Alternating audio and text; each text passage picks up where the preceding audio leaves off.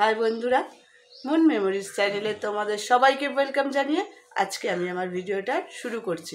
কাল রাতের মেলা থেকে যে কাপ দুটো কিনেছিলাম, সেই কাপ দুটোতেই চা করে, এখন চা নিয়ে আমরা খেতে বসেছি।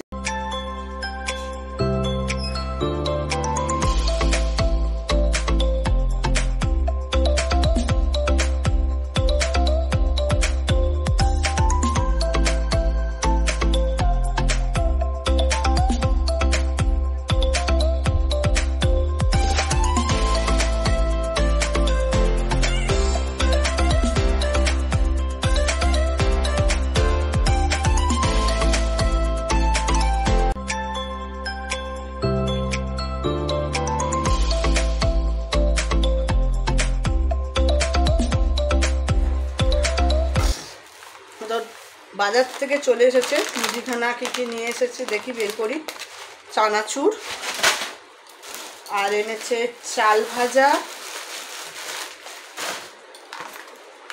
Refine oil. আর আটা। ময়দা।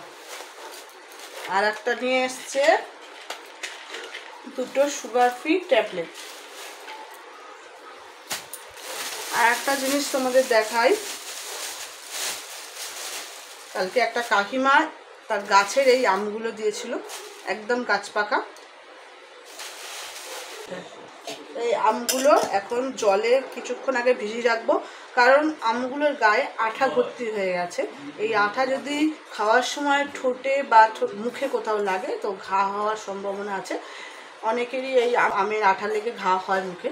তো আগে কিছুক্ষণ অন্তত আধ ঘণ্টা মতো আমটাকে জলে ভিজিয়ে রাখব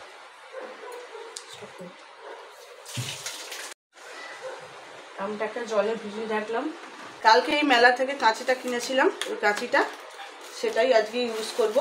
চাল ভাজাটা ঢালার জন্য, প্যাকেটটা কাটতে।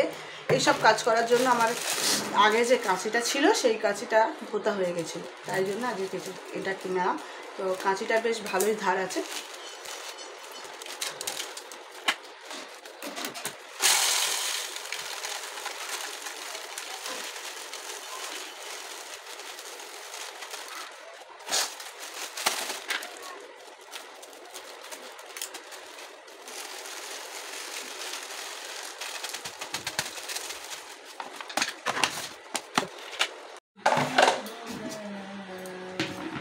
আমি আর এই হাঁড়িটার ময়দা থাকে।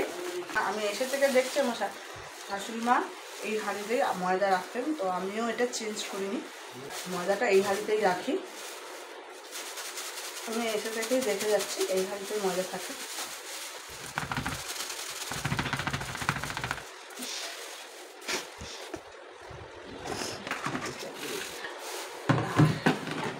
এই ড্রামটার মধ্যে আমি আটাটা ঢেলে রাখছি। যখন রুটি করা হবে তখন কিছুটা কিছুটা করে চেলে নেওয়া হবে।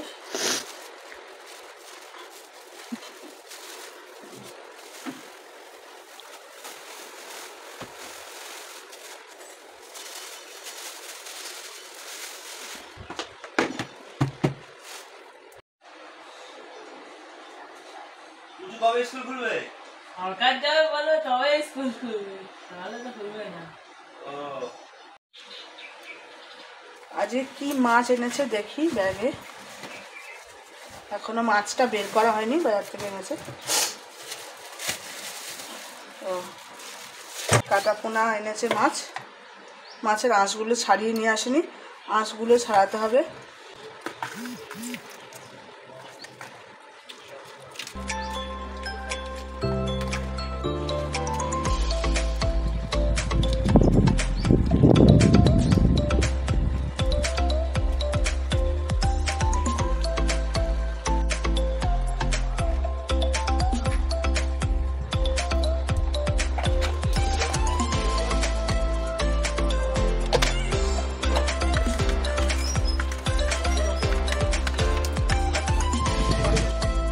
মাছটা ধুয়ে নুন, হলুদ মাখিয়ে সব কিছু গুছিয়ে নিয়ে রান্নাটা বসিয়ে দিলাম।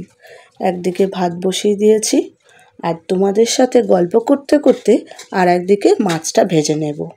রোজই ভাবি তাড়াতাড়ি রান্নাটা বসাবো, কিন্তু কোনো দিন একটু গল্প বা কোনো দিন অন্য কোনো কাজে এমনভাবে ব্যস্ত হয়ে যাই যে রোজই রান্নাটা করতে আমার দেরি হয়ে যায়। রান্নার পর বাসন মাজা, স্নান, ঠাকুর প্রণাম, এইভাবে ঘরের কাজ করতে করতে আমার সারাটা দিন কেটে যায়।